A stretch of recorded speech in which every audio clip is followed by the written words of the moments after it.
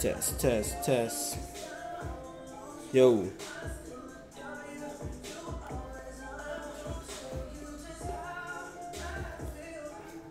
Test one, test two, test three. I'm testing this volume right now.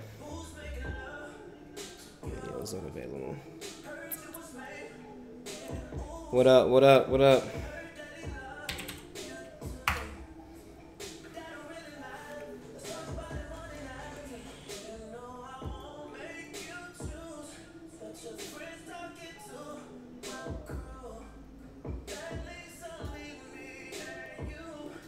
What up, what up, what up?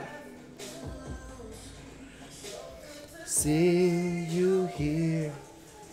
What's good? What's good? Trying to test this. Alright, there we go.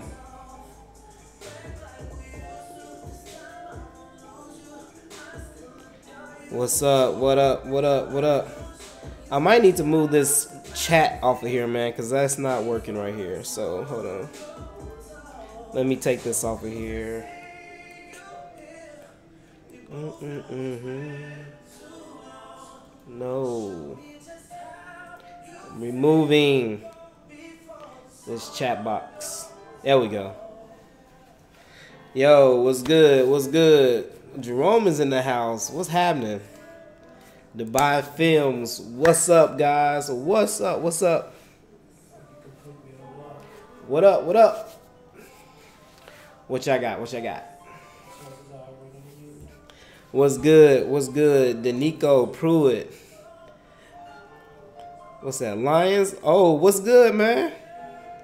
What is good? Yo, tell me if the um tell me if the volume uh, let me know if the uh, the sound and everything is good coming through right now. So I tried to make sure the vo- I tried to make sure the sound and everything was good. So we should be good there. You know. You're gonna do a review on the mirrorless Canon camera. Um, I hope so. Volume is good. All right, that's good to go. Good to know. Volume is good. Um, I really hope to do a. I really hope to do a um, review on the new Canon um EOS R. Um, it's going to be pretty good. But you know that that Canon is only, from what I understand, it's only the the smaller version. They're coming out with actually another body that's actually supposed to be the Pro version. So a lot of people's kind of putting their ducks all in one place right now because they think that's only one. But from what I understand, they're about to come out with a Pro version of the Canon um, EOS R. So that's gonna be pretty interesting to see. So what's good? What's good? What's good, Charles? What's going on? Jerome, hey, thanks, man. I appreciate it. Um, sound is good there. San Antonio, Texas is in the house. The pro version is to be legit. Yo, we're to see if the pro version is to be legit, man, because, you know, the other version only has the one car slide and a lot of people, you know, they're they're looking at this like, "Oh my god, it's horrible." But I don't know. I think that next version that's coming out is probably going to be probably a higher megapixel, has going to have like a better dynamic range on it, dual car slots, joystick. Um, I think that next mirrorless version that they come out with, um, I think it's gonna hope. I'm hoping it's going to be something for Canon's sake, because right now that um that EOS R is kind of yeah. So we're gonna have to see about that. Uh, the, tell us what you got the 85.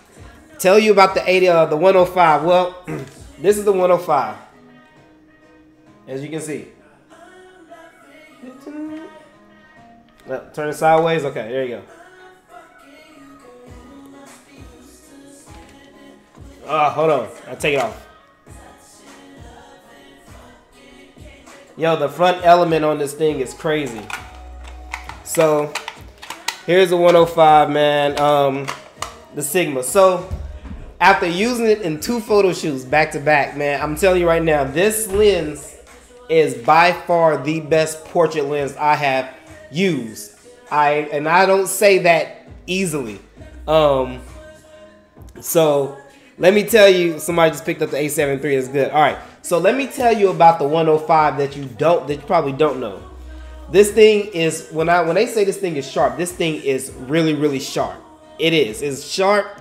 Um, the 105, the 104, the 1.4 aperture is absolutely amazing. It, the low light um, that this thing can produce is stunning. Um, and the compression, separating your subject from the background with this thing is just crazy. And it's a 105, so the focal length is absolutely perfect.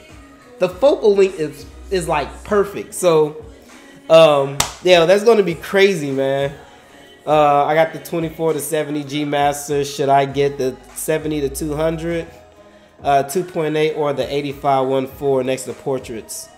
Um, I mean, you got the 24 to 70. As you guys, as you know, I'm not a really big fan of the 24 to 70 um, because that focal length, and I tried to explain this to people, so I'm going to explain it while I'm YouTube right now. Here's the reason why you will never see me use a 16 to 35 or a 24 to 70 there are too many prime prime lenses within that focal length that is just better than the zoom lens. I would not I can't see myself picking up a 24 to 70 over my 35 1.4 or my 55 1.8 or my 24 1.4 anybody anything like that. I would never use it. Uh, when I shot Canon, I had the 24 to 70 Tamron. It was great, 2.8 but I never used it because I shoot portraits. I can't. You're not going to pick up a zoom lens over your prime lens when you shoot portraits. You get a better aperture, better low light, sharper images. So I never got that 24 to 70. And for the price, listen, for the price of a 24 to 70 G Master, dude, you could get a 35 1.4 Samyang. You can get the 55 1.8. You can get the 85 1.8, all for that price. Um, but you got it now. So my next one, I would tell you, every if you shoot Sony, I think everybody should have the 70 to 200 2.8. That that lens is just absolutely stunning. The compression, it's the best 70 to 200 that was ever made. Um, I love that lens. So 70 to 200 is going to be great. That's going to be kind of like your uh, the next portrait lenses you get. Um, so I wouldn't, as you know, I'm not a big fan of the 85 1.4 either G Master because that's like a $1,700 lens. The 8518 is absolutely stunning. You see me do work with the 8518. I wouldn't get I wouldn't get the 8514. I really didn't. For people who are getting it, honestly, they're just kind of getting it for the name. So I really wouldn't get it. So um, D Mac, what's going on, man? How you doing? All right, what's up? I'm gonna scroll up here see if I can get some of these questions real quick. Uh, I love your videos, dude. Too heavy, unfortunately. I'd rather go with the 34 and 35. So uh, let me see here. When will you be making the Mac edits Final Cut? I'm thinking about going Final Cut. Hey, Ben, chill out, bro. you know that. Uh, love my 51 too. Will you ever sell any of your lenses gear? I'm thinking about it. I'll let you know that here in a second. Uh, Brandon, I need to come to Atlanta. I was almost going to Atlanta, man. Atlanta almost won the challenge, but now I'm going to uh, New Jersey. So 70 to 200. So I'll answer a few of these questions. So let's tackle this 135 versus 105. I know a lot of you guys came here to talk about this. So before anybody else tells you, I'm going to tell you the biggest difference between the 135 18 and the 105 14. Okay. So as you know, I had the 135 18. If you look at my earlier videos, I used to use when I shot with the 5D Mark IV with Canon, um, the Sigma Art 135 18 was a lens that I used a lot. The 135 18 versus the 105 14. I'm going to tell you right now, I would I would get the 105 over the 135. Here's why. 135 focal length is what, what the most important thing is. That is a big distance. All right. Trying to compress my subject with the 105 to try to get either a headshot, a three quarter shot, or a full body shot I'm already at a decent distance, but not too far away, but not close. 135 focal length is going to put you. You got to remember that's 30. That's that's 30 millimeters. That is pretty big. Um, that's going to put you at a distance from your from your subject if you've never used the 135. The problem with that is is that you're locked in at 135. You can't go anywhere to get that to get that picture that you need. So you're gonna have to move your feet. You can't really go forward and you can't really go back because you're gonna run out of your focal length. So I don't really recommend getting the 135 because it's different from it's different when you're locked in at 135. That's what makes the 70 to 200 really, really good because you can go to 200 millimeters and compress the background. But if you want to get closer, it's a telephoto lens so you can move forward and you're not locked in at 70 or 200. So you're versatile. 135 is going to lock you in and you're not going to want to shoot at that distance all the time. And you need to and you're going to have to need the space for it. So you got to think about these things when you're thinking about the 135 or the 105. Um, and it's you know it's a few stops of light. I mean also with the 105, and it's a perfect focal length. So you guys got to remember that when you're deciding between the 135 and 105. My biggest thing is the focal length. You're not gonna you're not gonna want to be locked in at 135 all the time. I'm telling you right now. I used it for a very long time. So take it from me. Uh, let's see here. All right, let's see here, Mason. Da, da, da, you know, so uh, somebody had a question. So D Rocks 1000 RR. He has a question. Should I get the 70 to 200 F4? Um, I'm going to tell you it depends on your budget. If you can save up more money and get the 70 to 200 2.8, I highly recommend you get the 2.8. If you can't and you want the 70 to 200, then get the F4. But for the compression and what the G Master version can do, I would highly recommend you save your pennies and go for that 70 to 200 2.8, all right? Because the F4, you're not gonna you're not gonna want to shoot at that F4 a lot. I'm telling you right now. So, uh, let me see what up. Uh, Ken Harrell, what's going on, man? Thanks for the advice on those lenses. You got me. Uh, right on. Appreciate it, man. Uh, what about Norfolk Photo Walk? Uh, we're going to try to get another photo walk at the end of September or early October, man. So the last one we kind of got rained out, and you know we're going through tornado, you know, hurricane season right now. So it is what it is. Um, I picked up the 7200 because I bought it used two months old, 1600, couldn't pass it up. That's good, man. That's not a bad deal. Um, would you use the 7200 for portraits? Absolutely. Um, I use my 70 to 200 for portraits a lot. I love it. But um, right now, I am breaking this thing in right now. So um, but yeah, I love my 70 to 200. I use it for a lot of studio work in my studio, so I do use it a lot. Um, when you come to San Antonio, I would love to come to San, San Antonio, Texas. I would like to go to Texas, period. Um, but I don't know, man. We'll have to see. Uh, let's see here else. What else you got? Can you use HSS at F4? I didn't think you. Yeah, absolutely. High speed sync doesn't high speed sync doesn't have to have anything to do with the aperture of your lens. And it's not what that is. it is. High speed sync is being able to use um, flash above your camera's um, your your camera's um, standard flash sync speed. That's what it is. So normally our flat our, our our camera flash sync speeds are like anywhere from like 160 of a second to up to 250th of a second. High speed sync just allows you to use flash above your camera's um, flash sync speed. That's all it is. It has nothing to do with the aperture of the lens. Um, let's see what is. What are your thoughts on the Tamron 28 to 75 for video? Um, like I said before, I'm not a fan of the 24 to 70, 28 to 75. Um, I do know that uh, that new Tamron 28 to 75, I think is a pretty good lens. Uh, but is it something that I will use? I'm not gonna use it. Um, even for video, I would rather use a prime lens, probably like like I'm shooting right now, my 16 millimeter f 1.4 from Sigma. That's my main go-to video lens. I use that lens for everything. If I need to get closer, I'll probably switch to my 35 millimeter 1.4. But my 16 is perfect, um, and it's a crop lens, so it is. Uh, let me see. I'm hey, I'm pushing them out. Y'all gotta keep bringing them. I'm pushing them out. So y'all got me here for all these questions. So I got you. Let's do it. All right. So what else? I love the 7200 F4 for automotive photography, though. You are not usually going to shoot below that anyway, automotive. So yes, the reason for that is is because when you're shooting cars, you want to try to get everything in focus. So shooting at 2.8, um, you know, that's that's when you're trying to really get that shallow depth of field. But if you're shooting automotive like cars and things like that, you're gonna even if I shot even if I had a 70 to 2 uh 7200 2.8, I would stop it down so I can bring everything in focus so I can get a really much sharper image. So if that's what you're using it for, then the 70 to 200 f4 works, right? Makes sense. Um, because you want to stop it down and bring everything in focus and get a nice, really sharper image. So F4 works for you then. That makes sense.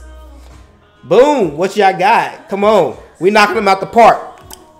What else y'all got? Kim. Hey, why do you call her Kim Fields? She is not Kim Fields, D. All right. She does not look like Kim Fields. All right. Let's see what else. I'm thinking of switching from Canon to Sony. What would be my first lens to get? It depends on what you shoot. So type in the comments what you actually shoot, and then we can go from there. Also, I hope you guys are getting in on September's um, on location challenge. We're gonna talk about that in a second. Also, uh, let's see here. What else you got? Uh, for portraits, 85. Save you some money. Switch over to Sony. Get the 85 millimeter 1.8. That's what I guarantee you. That's what I suggest you do. 85 1.8 until you're able to save up more money. The 85 1.8 is like $500, $550. Get the 85 1.8 and go shoot. Have fun. Boom. Go. That's all you got to do. Uh, got to get full car and focus. Yep, you got that right. We all see we already on point. That's how we do. All right, MacBook Pro or Dell XPS. Dell XPS all day. I am a Windows person. I do not use a Mac. Um, although Macs are great, but as far as editing and as far as user friendly go, Dell XPS all day. Absolutely. Uh, let me see what else you got. Sam, I've been trying to get him. you ain't been trying to get me to Houston, man. I told you, I'm going to New Jersey, man. So hopefully, sometime this year, this year, I'm going to try to get out there, man. I am. I'm not making no promises, but I'm going to get to Houston. All right, I'm going to try my best. Um, is a 70 to 200 too long for portraits on my on the D500? Um, I can't remember, but I think the D500 is a crop sensor, right? It's not a full frame. Uh, let me know. I can't remember. I don't really shoot too much Nikon, but I got an idea. Uh, D-Man, he will be held time. Awesome, bro. Um, I switched from the D7200 to the A7 III. Congratulations, man. Welcome to Sony, bro. Uh, I have the 70 to 200 2.8. Should I sell it or use an adapter for Sony, which will work good? A7 III, 7200. Do you the 70 to 200? Is it a G Master or is it the Nikon version? Um, when you switched over to Sony, do you actually have like native Sony glass? I don't know. You didn't. You didn't tell me that. Uh, let me see. What else you got? Best macro lens for the A7R3. The best macro lens on the planet. I should I should go over there and get it, but I ain't gonna get it.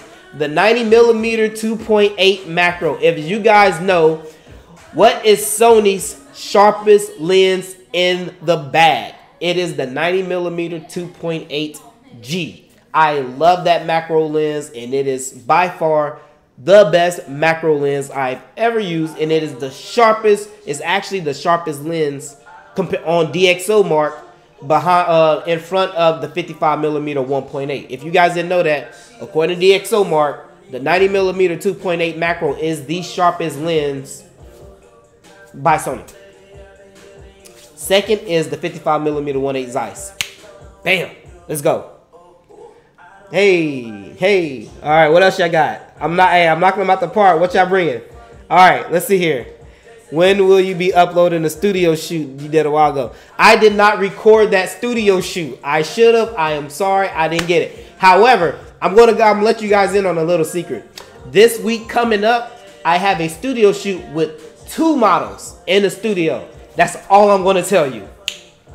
So, uh, let's see here. What else you got? I got a new crib and he can stay. Oh, whatever. Am I attending WPPI? I am going to try to attend WPPI next year. I haven't been yet due to um, obligations, work obligations, but I am planning to go to WPPI next year. If you guys don't know, you heard it from me first. I hope to see you guys there. It's going to be my first time really going because I haven't been able to go. WPPI next year. Uh, let me see here. I have the A7 III for majority of portrait work, but I do a lot of beauty work also. And I have the A7R2 for that. I want to sell my A7R2 and grab some lenses. You think a huge difference in in what? In data? I don't know what that last word is, but I have the A7R2. That's actually what I'm recording you on right now. I have two A7R2s and I have my A7 III a lot of people ask me, why don't you upgrade to the A7R3? I want to tell you exactly why I did not upgrade to the A7R3 and why the A7R2 for the price right now is one of the best buys that you can get. The A7R2 and the A7R3 are both 42 megapixel sensor cameras. Okay. Now, a lot of people say, oh, I'm glad the A7R3 came out. What were the upgrades from the A7R2 to the A7R3? 10 frames a second, joystick, dual car slot, the focusing, we know about the focusing, and better battery life. Those things, pretty much. Those are those. Are, that's it. The same sensor. I I now Sony sent me the A7R3. I took pictures on the A7R2 and the A7R3. The pictures are identical. The pictures are identical. It uses the same exact sensor. So there was no upgrades in that. You just the focusing was faster, 10 frames a second, um, and things like that. Now, do I need 10 frames a second? Absolutely not. You guys have to ask yourself these questions. Don't start buying gear just because everybody tells you to buy them. Listen, do you shoot fast stuff all the time? Absolutely not. I do portraits. I mean, I might do like a little hair flip or something like that, but the A7R2 can still do it. Do I need a better battery life? No, I don't care. I have plenty of batteries on my A7R2. It doesn't bother me. Do I need dual car slots? No, I don't. I'm good with one car slot. I even use my A7R2 in weddings. I don't need dual car slots. Who cares? Do I need a joystick? No, I don't need a joystick. Uh, I had the 5D Mark IV. I had the joystick. My A7 3 minutes. I don't care about the joystick. I don't care about touch screen. I don't care about touch focus. If you can deal with all of that, deal without all of that, you don't need the A7R3. The A7R2 is perfect and it's still a beast camera. It's like when they came out with the A7R3, people forgot that we used the A7R2. It was like it was like the golden the golden full frame camera for a long time. Jason Leonard using everybody's using the A7R2. It was like the cream of the crop. And then when the A7R3 came out, it was like, oh no, the A7R2 sucks. What? No, it don't. It's still one of the best cameras, and now for sale, you can find an A7R2 for like $1,400. I saw like two on Craigslist and offer up for like $1,400 and $1,500. What? Come on, man. No, no. That's why I did not upgrade to the A7R3. I don't care about that little stuff and it's still an amazing camera. It shoots 4K and I'm using it right now and I have two of them and until they actually come out with a 42 megapixel camera that is actually going to improve my image quality, I'm going to keep rocking my A7R2. Hey, turn up. All right, let's go. Sorry that that took a while, but I missed your questions. Okay, here we go. Uh, let's see here. Da, da, da, oh my goodness, I'm trying to catch up. Give me a second. Uh, yes, crop sensor. Da, da, da, da, da. I'll tell the majority of portrait work. Okay, here we go. Do you strictly use Photoshop and Lightroom? Yes, I do. I put. I normally my workflow is I normally always edit in Lightroom first. I mess with my lighting, make sure everything is good, and then I um, transfer it to uh, Photoshop. I don't use um, Capture One. I don't use all that other stuff. I'm good with what I use um, and everything. So. Uh, let me see. I love your videos. Please, please keep it coming. Thank you. I really appreciate that a lot, Jacqueline. Thanks. Appreciate it.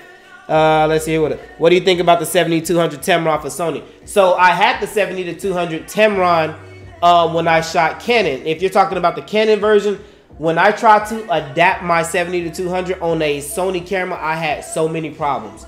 So if Tamron comes out with a Sony 70 to 200, which is what I'm hearing, Cam Tamron is, is cooking up a 70 to 200 2.8 Sony E mount I can't know. I don't know. But I've never had a problem with Tamron. Tamron is a great company. And if they can really nail that E-mount Sony and make it compatible with all of Sony's features like eye autofocus and and manual focus and everything else that we have, it's, it's going to be hard. I think they're probably going to lose money on the G Master because there's going to be another option uh, for Sony. So that's to be interesting, man. I'm really looking forward to seeing what they're to do with that.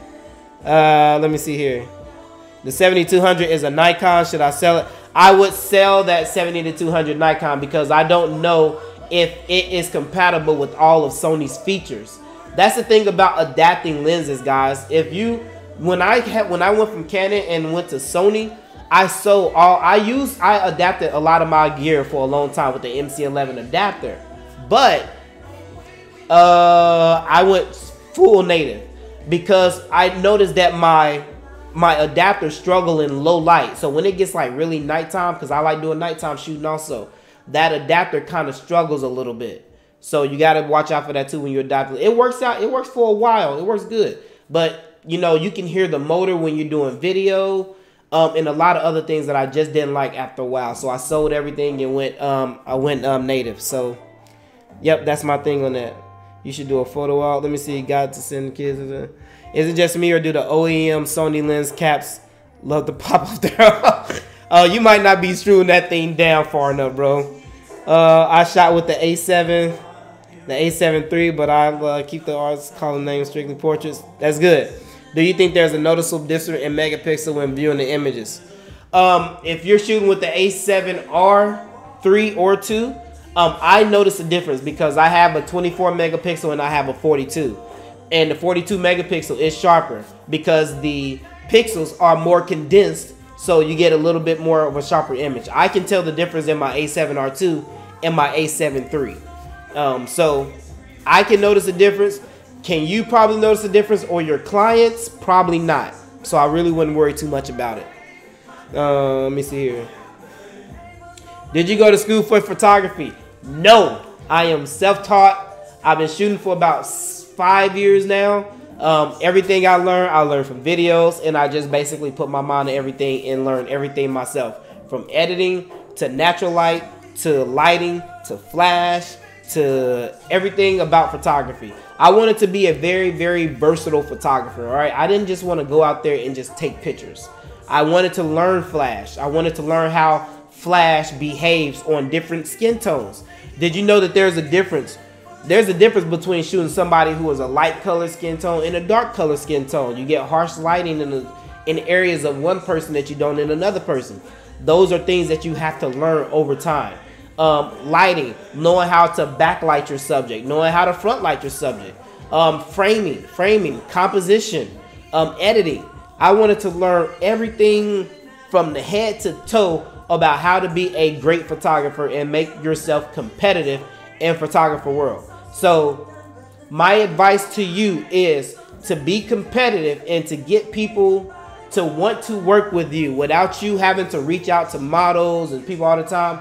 Make your work competitive. That means that you have to that means that you need to do some work.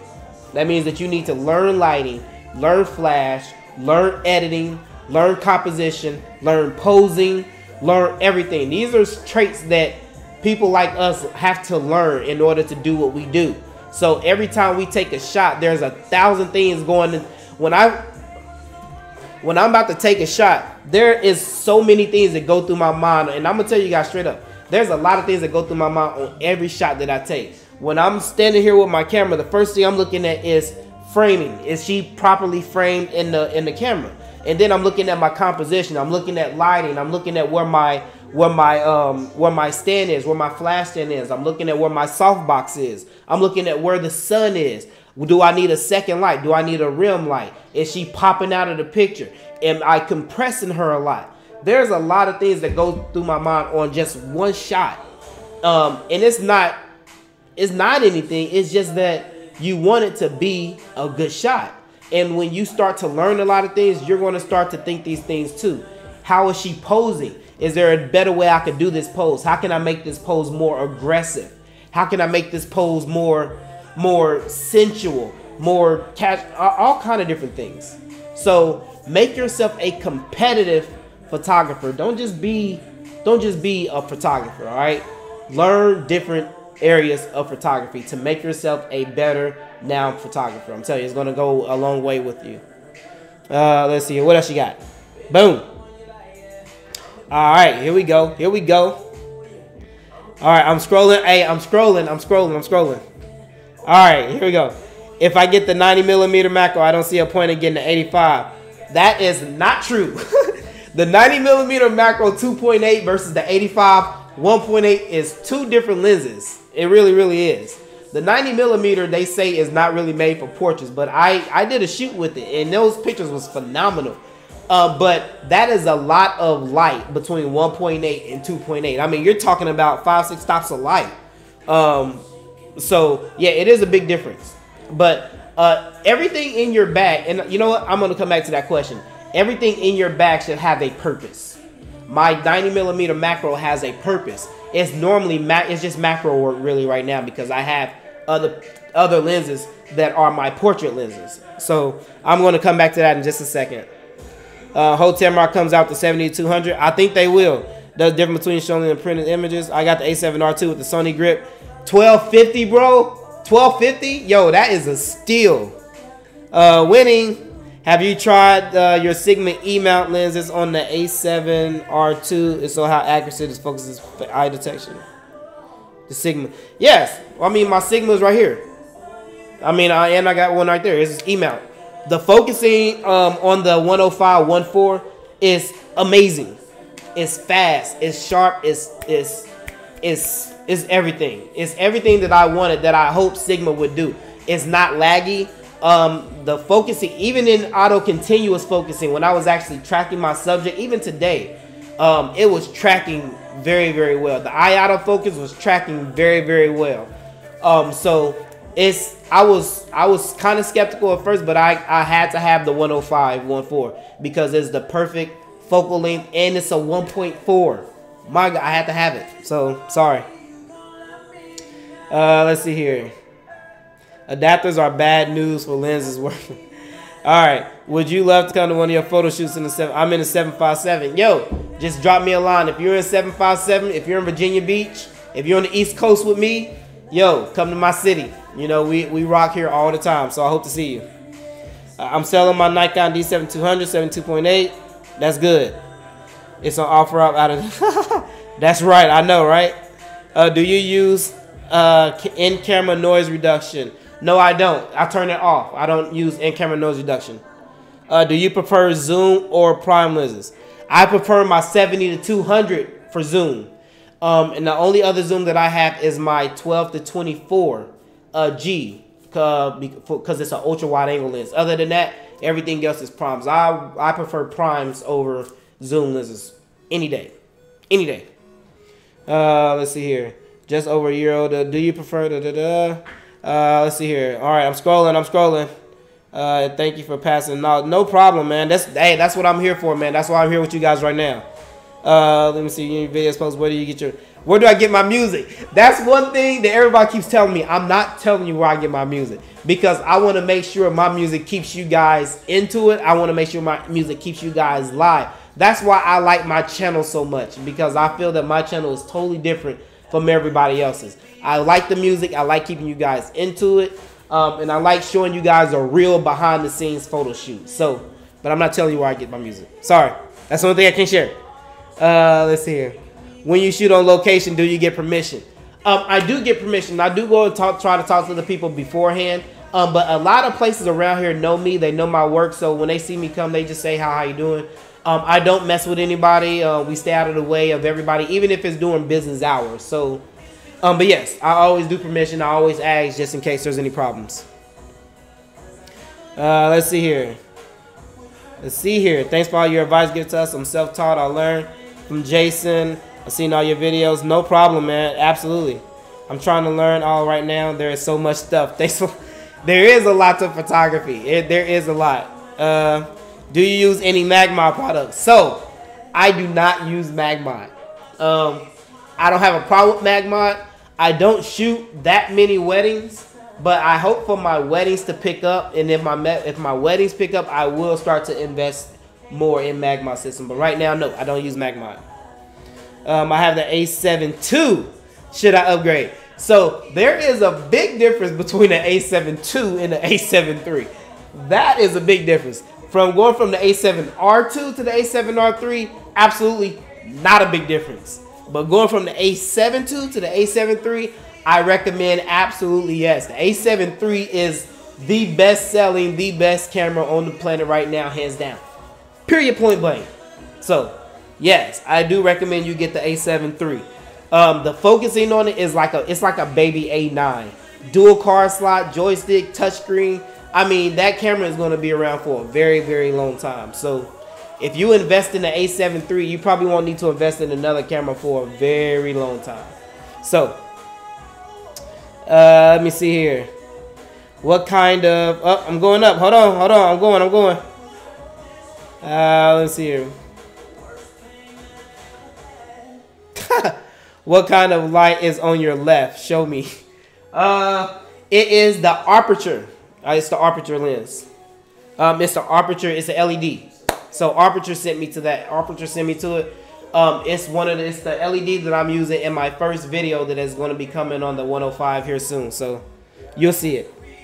Uh, let's see here. Did you ever do a post-processing video? No, I did not. Sorry. Crazy how Canon and Nikon came out with mirrors, but they can't come close to Sony. Uh, so let's talk about that. The Canon, uh, the Canon um, EOS R and the Nikon Z6 and Z7. So what's up with all the Can the mirrorless wars right now? Well, everybody knows that Nikon and Canon had to come out with mirrorless cameras to basically stay afloat and to basically stay competitive um, in this mirrorless age because mirrorless is actually the way it's mirrorless is the way to go. Um, I think Nikon did a really good job with the Z7 and Z6. They have a, a short version and they have the the full frame version and a really good version in the Z7. That 45 meg, it's like a D850, only mirrorless. Um, it hit on a lot of things, and the electronic viewfinder on it is really pretty, really good from what I see. Um, it, but it doesn't have eye autofocus. So I really think that's where they dropped the ball at. I don't know if that's really patented it, but I think that's where they dropped the ball at, not including the eye autofocus. That's the eye autofocus is something that's just off the chain. Um, Canon, like I said, they came out with only their lowest version right now, so we have to wait and see what Canon comes out with with their next um, pro body um, mirrorless system. So I'm still waiting. I'm not gonna judge Canon right Canon right now for the version that they did come out with right now. I think it's decent. You know, it's a decent mirrorless camera. It's better than that M6 that they have, that's for sure. Um, but we gotta wait and see what the pro version is. Uh, let me see here. I know you get a boo. I feel you. All right, let's see here. What else you got? Thanks for letting me be sharing those. Oh, absolutely. Where can I send pictures for you to critique? Um, send them to my Instagram or my Facebook. Uh, what field of photography do you best income? Modeling, wedding. My weddings is always my, weddings is the money maker. so, uh, my weddings, man, are weddings do good. Weddings do really good. Um, so, but if I I shoot a lot of models, so whatever. But weddings is it. Uh, Magmod is overpriced. Uh, it is what it is. Uh, great advice. Can you share knowledge on editing? Um, well, you have to let me know what you want to know about editing. Tell me, tell me something that you want to know about editing. I'll try to answer for you. Uh, then nice to have the system. Absolutely. How long have you been in photography? Five years now. I've been shooting for five years now. Um, A7 III or A7 R2. A7 III. I love my A7 R2, but if I had the choice, if I had to pick one, I would get the A7 III. Um, even though the A7R2 is a 42 megapixel, you're not really going to use that 42 megapixels unless you're blowing your pictures up and you can spread those, um, you know, those megapixels. That's really where that 42 megapixels shine at. But other than that, get the A7 III all day.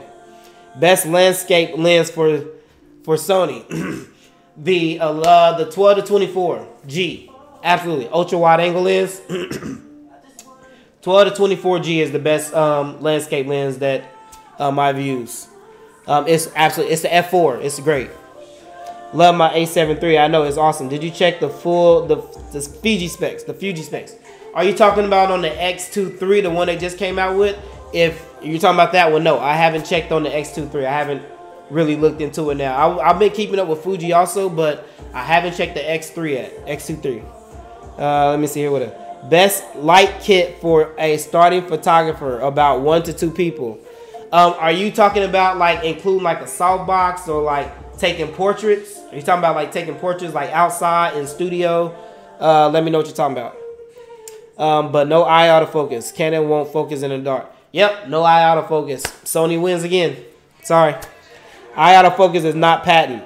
Canon put it in the new their new their scan. Let's they did. Canon did put the eye autofocus. If you guys haven't saw it, there is a video where it's actually focusing on the eyes. Now I don't know if it does that automatically or if you can actually press a button for that. But yes, I did see that eye autofocus with the new EOS R. If you haven't, guys, haven't checked it out. Uh, let me see. XT3. Yep. I haven't saw the specs on the XT3 yet. What software do you use for post-processing? Lightroom and Photoshop. All day. Boom. I missed the answer about upgrading from the A7 to A7 III. Absolutely upgrade. Upgrade all day. I will upgrade to the A from the A7 to the A7 III. Uh, I picked up the AD600 Pro. Can you do more videos using that in HSS outside? Mainly, all, all my latest videos have been done with um, the AD600 Pro. Um, but I will do more videos where I will actually focus on it and tell you guys about it more if you want to see that video. Um, but yeah, all my pretty much all my videos have been done with that in high speed sync. I'm normally always shooting in high speed sync unless it's really really cloudy or um, or if it's nighttime. So do it later on the video subtitle so I can watch the translation. what translation? Why would you Why would you need translation, bro? uh, let's see. Don't know his language well. Thank you. Oh, okay, okay. You don't know the language. Got you. I got you, bro. Sorry. Do you use back button focusing? No. I hate back button focusing. I think it's overrated. I don't think you need back button focusing. You don't need that. Uh, Mac or PC? PC all day, baby. I'm not a Mac person. If you don't know anything else about me, I do not like Macs. I don't like Macs. I am a Windows person. I am more familiar with Windows. Sorry. Uh, I saw the video and it doesn't focus in the dark. Plus lenses will suck, but you can use adapters. Uh, let me see here. Oh, you saw. Oh, you're talking about the EOS R? You saw the video on the EOS R. Um, okay. Yeah, I real I, I only know that it was able to do that, but I don't know. I didn't see it in dark and everything, so we got to check that out. Um, I'm late to the live stream. Was that Sigma? Was that the Sigma? Yes, it is a Sigma. This thing is like it's like curling. Look. God, dog. I'm glad I'm a big guy, so it don't really affect me. But here, here you go. Focus. There you go. There is focus. You got it? You got it? All right, cool. There it is. That is. Oh God, that is the um the 105. Eye autofocus. Yes. For those, let me see. For those who have the AD200, 400, AD600 system, you can now adjust the exposure output once in increments with the firmware update. Okay, will not work with the shoe mount flashes. Wow, I didn't know that. Um, I haven't checked that update, but I guess I need to update my AD600 and my 200, son. I do. Back but focus is continuous focus for. Okay, cool, nice. Um, not portrait photography. Yep. What's up, James? Oof. Can you name the best three lenses for the A7 III for portraits? I just switched over. Ooh, here's a good one. So the best three lenses. You know what? Actually, hmm. Hmm. What's the best three lenses? Hold on. Okay, so the best three. Since I got my 105, I'm not going to include the 85. So the best three lenses for portraits, I'm going to say, starting from the bottom, is the 35 millimeter 1.4, 35 millimeter 1.4, uh, the 105, 105 1.4, and the 70 to 200 2.8. Those are my main three. I will use those three for video. I mean, I'm sorry, for portraits. Best portrait lenses. Now, before I got my 105, I would have told you like the 5518 is a great portrait lens. Uh, the 8518 that I use a lot is a great portrait lens. But this, the best portrait lens I have ever used. Unbelievable. So, everything is like out the water for me now because that's the only lens that really I need, man. That thing is just, it's phenomenal. It does everything. So, I'm going to be using it like all the time. So, let me see here. Frequency separation. Yes. I love frequency separation. That's my thing, man. I love it. 85, 55, and 135. 55. Well, hey, Mal, who has a 5514? Is this something I don't know? Because I don't know anything about a 5514. So you let me know about that. Uh, let me see again. Thanks for adding best three lenses. Yep. I have all of those. So what does my bag include right now? All right, well, starting from the lowest numbers, I have the 12 to 24 G, which is an ultra wide angle. I have the 20 millimeter 1.4 Sigma, 20 millimeter 1.4. I have the 35 millimeter 1.4. I have the 55 millimeter 1.8. I have the 85 millimeter 1.8. I have the 90 millimeter 2.8. I have the 105 millimeter 1.4. And I have the 70 to 200 2.8.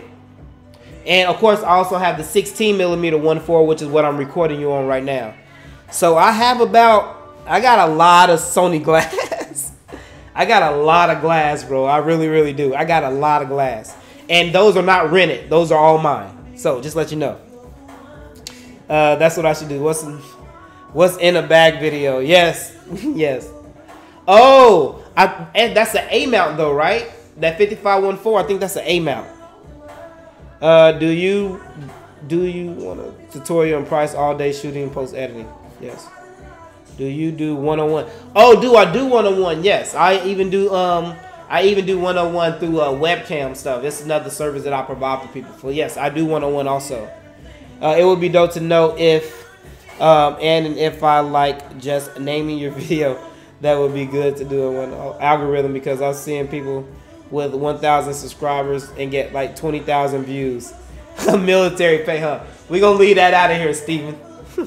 yes, I am still military. Yes, absolutely. 13 years. If you guys didn't know, yes, I am active duty. Um, I've been in the Navy now 13 years. So now you learned something else new about me if you guys didn't know. Ha. Uh, let's see here. What else you got? Uh, it's Canon Nikon mount. Yep. Oh, okay. Got you. Got you. Got you. Got you. Uh, where should I hit you up for a tutorial? Hit me on my Facebook or my Instagram. All right. That's where you hit me at. Uh, you pick up Chief? No, I did not pick up Chief. I'm not up for it yet. I'll be up for it next year. Uh, thank you for your service. Appreciate it, man. Appreciate that. So we're not gonna get keep into that. All right. So let me see. I did Army. Up. Army. Oh man, that is amazing. That is great, bro. Let me see. What else? Yep. What options do you use in Photoshop when you save your images and make your images return their retain their quality? Um, well, the first thing I do is I reduce the aspect ratio. Um, I usually um, reduce it to like 2560 by 1440, which is HD, which is perfect for which is what you're actually supposed to use for like uploading to the web, like Instagram, Facebook, and stuff. So that's one of my tips for you guys. If you guys didn't know, before you, when you go into Photoshop, when you finish editing your stuff in Photoshop, um, change the aspect ratio, change the lift to 2560 by 1440. So you can keep that sharpness um, in your images when you upload to the web. I also make sure it's 300 DPI, all right, so you can keep your megapixels and things also. Um, so that's one of the biggest things that I do. 2560 by 1440 and 300 DPI. Make sure your settings and everything is right. All right. That's my that's my thing to you. That was free. That was free. Uh, let's see here. What else? Good night, everyone. Love you. Hey, appreciate it, man. Good night. Good night. This is Navy D. What do you think about going NYFW? I don't know. Oh, New York Fashion Week. I don't think I'm going to get up there. Can we get an Army Navy shoot? They never come here. They never come to Virginia, man. I have to. You got to go to like um uh up in Maryland wherever that Maryland, uh, yeah, that place up there. I can't remember right now. It's though just being around all the creativity in the city around the time. It is. What is Newlywed? Awesome. Great work. Greetings from Brazil. Duval. Good job. Awesome, man. Appreciate that. Appreciate that. Yeah, so um the on location challenge. All right, if you guys saw my last video, um I put a challenge out to everybody in the entire world, all right? So every month, as you guys know, I like to go out on any location. I don't care where it is. I go out, I take my model, and we use the you know ambient light, no light. We don't take any lighting. We take one camera body and we take one lens, and we go to locations, and we just and we shoot. And I have somebody come in and record it. Um, and I love it because it really challenges you as a photographer. I like going to random places because I like going in a place and I'm like, okay, how can I make this? How can I make this just a great shoot? So now I've started letting you guys pick the location. So you guys need to check out that last video. Um, but you know, for the month of September, we are doing a Home Depot challenge. That's what you guys voted on. Now I've already seen two pictures that people have sent me from them doing their Home Depot challenge already. All right, so everybody goes in, and then near the end of September, um, we're gonna all look at the pictures. You know, I'm gonna have a couple people. We're gonna look at the pictures, then we're gonna pick a winner. So somebody's gonna get like a shirt. Somebody's gonna probably make it, maybe get like a plaque or some type of giveaway. I don't know. We're gonna try to do it, but and quit trying to do everything right now. But as the months go on, I really want these challenges to get. I really want everybody to really get in on these challenges. Um, I want to really be able to get some prizes and get some things. I think it's going to be awesome. It's a really a really good way to join the community together and everybody um, participate.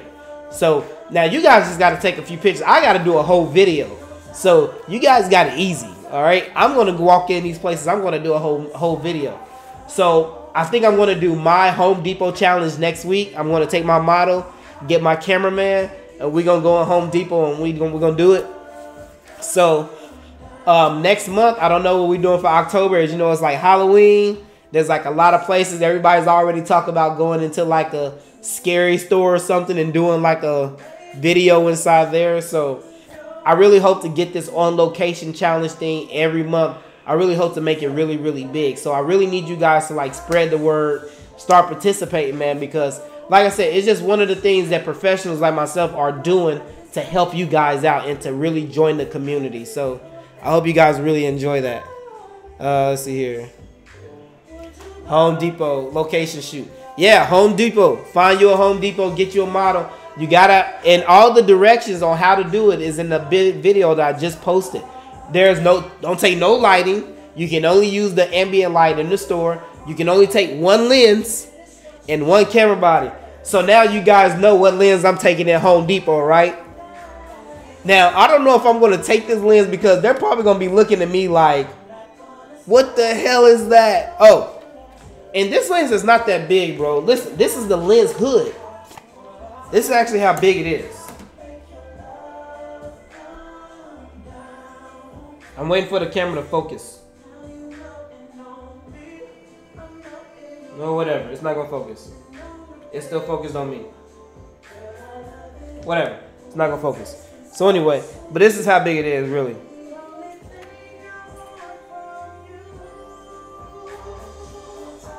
Yes, this is the E-mount. There is no adapter. This is the E-mount. It's the E-mount, no adapter. So that's without the lens hood. You got that, and then there's this little screw right here that actually screws it down. Like that. Boom. Got it? Alright, there you go. I'm still waiting for my hat. Yo, hit me up, man. I got I got hats. See, I got a lot of different type of hats now. Good. Uh, let me see. How does the Home Depot feel about taking pictures?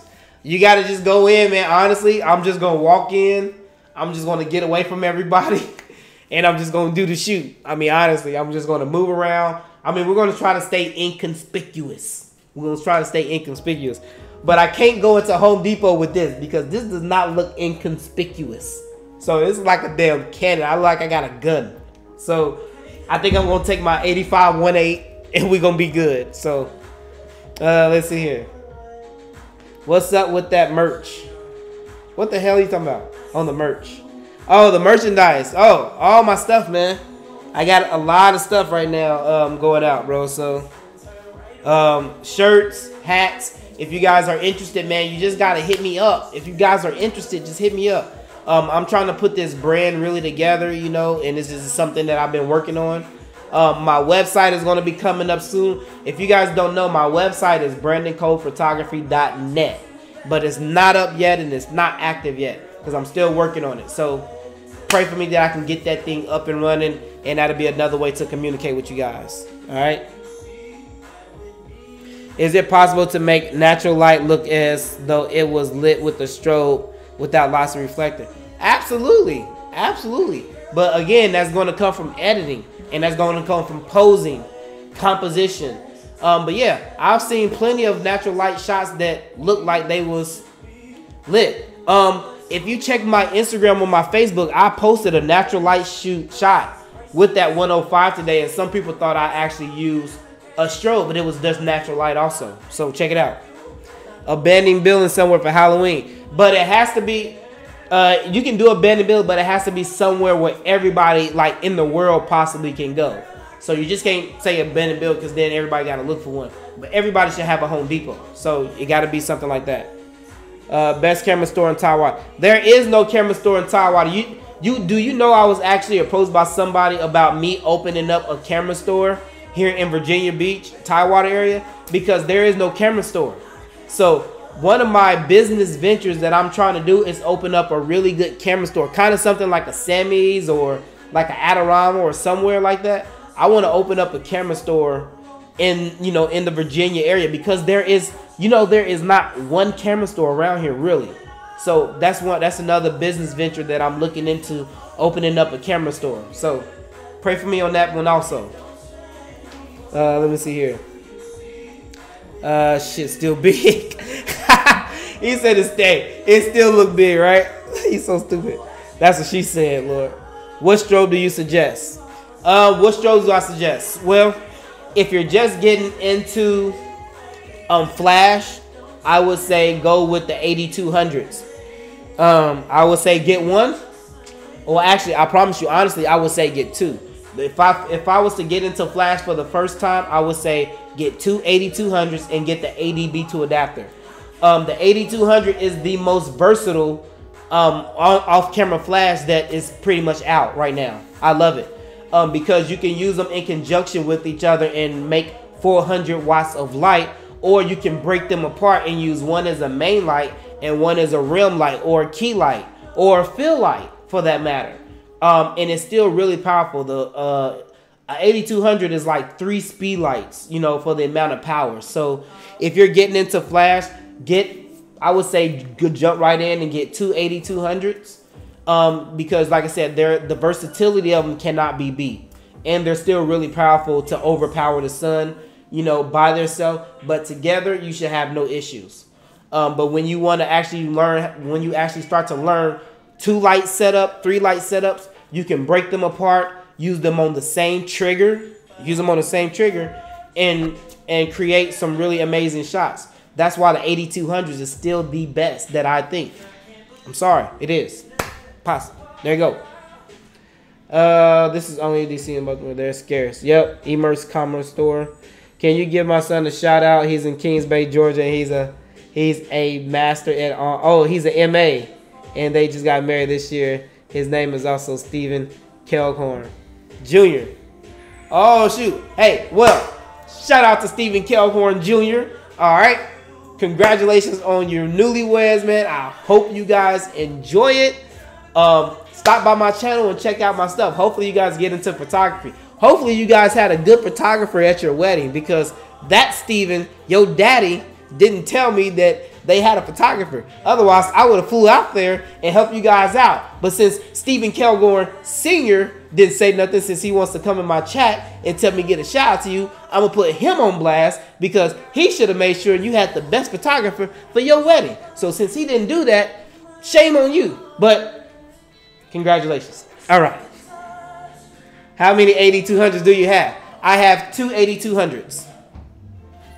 Uh, yep, right over there. Uh, let's see here. You ever feel like you need the AD600 with two AD200s and the ADB2 adapter? Cleghorn, whatever. Yeah, I know. You ever feel like you need the AD600 with? Yes, I do. So there, as you guys know, I do a lot of flash. So sometimes I might use my AD600 as my main light because it's the most powerful. But then I might want to use a three light setup where I need to do a really good rim light. Maybe a shoulder light right here, shoulder light right here. And if I'm shooting on location, that's the first thing I'm going to do. I'm either going to use my AD600 as my main light and I can put my AD200s together and use them as a good rim light from a distance or I can break them apart and really use them as like a really shoulder light on both sides to separate my model from the background. So I use them both. It really just depends on what the setup is. It depends on the composition. It depends on where I'm shooting at. It depends on a lot. But those are the type of things that you have to think about in this photography game as you get more versatile with flash and lighting. So, uh, let me see. If I have the AD600 Pro, would you see any reason to get the AD400? No. Everybody keeps asking me that. No. I do not recommend you get the AD400. I don't think you need it. I think it is a waste of money. Why do I think the AD400 is a waste of money? Because that from what I understand right now, they did not come out with a manual version. So you're only buying the Pro TTL version of the AD400, which right now is like $648.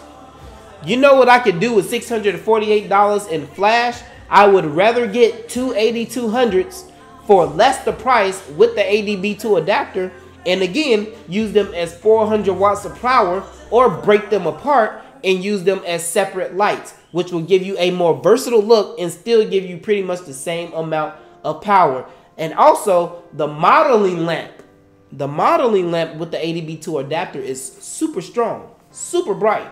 So I do not recommend the AD600 um 400 there is no situation on earth right now where I can tell you where the AD600, I'm up, where the AD400 would be better than the 200s or the 600.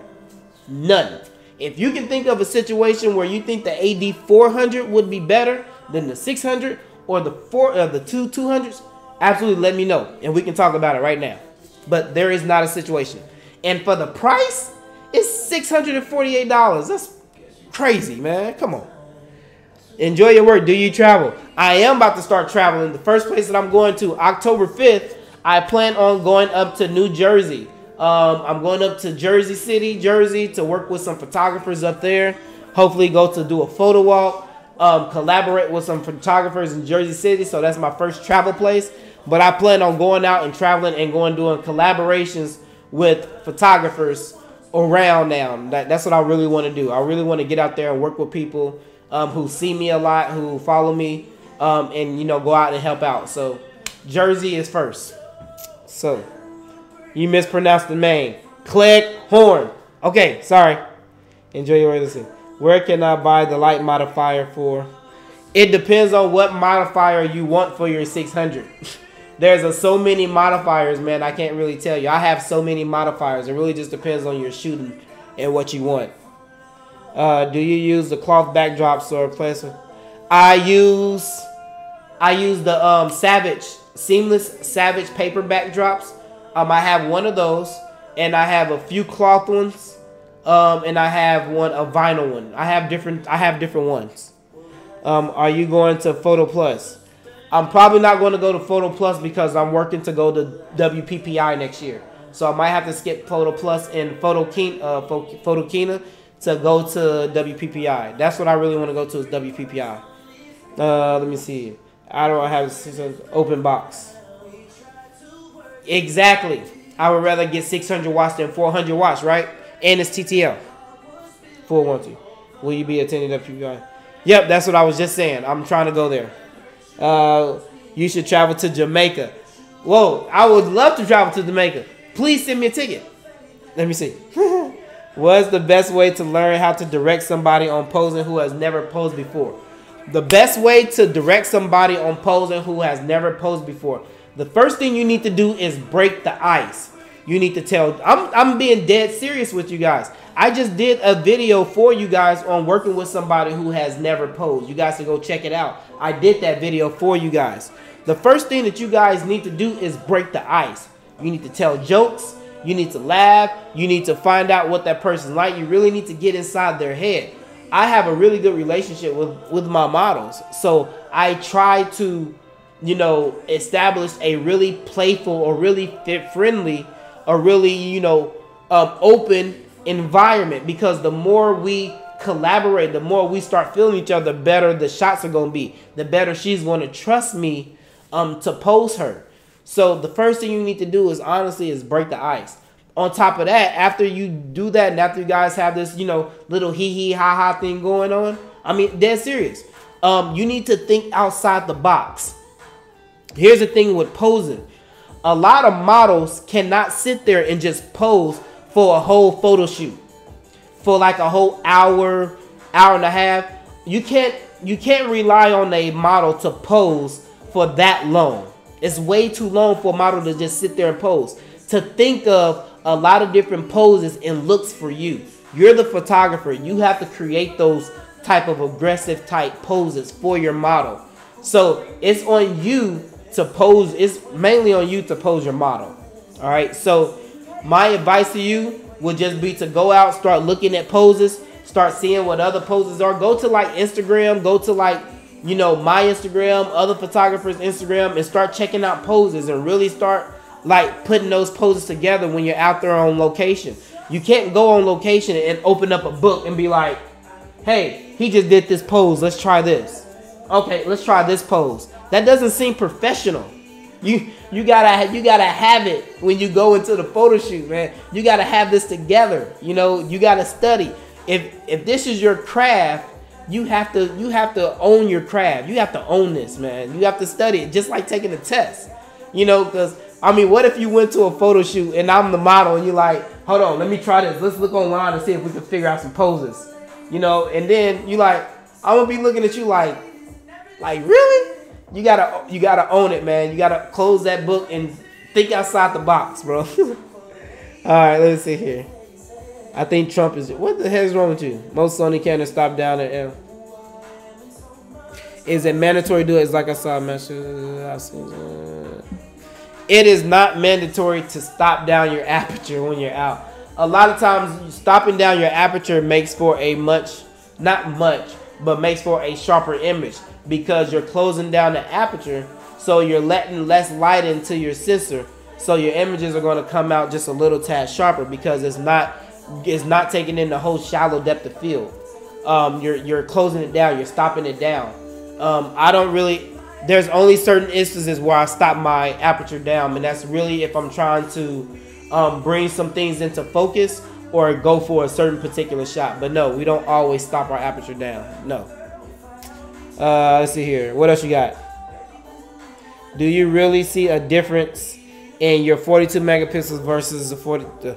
It is. I can I can tell the difference. It's not a huge difference, but anybody who shot with a 42 megapixel and a 24, um, you can definitely tell. Especially when you start to print your work and blow your work up, you can definitely tell the difference. I have started printing my work. I recommend all of you guys go and start printing your work it will. It's amazing. I like printing my work.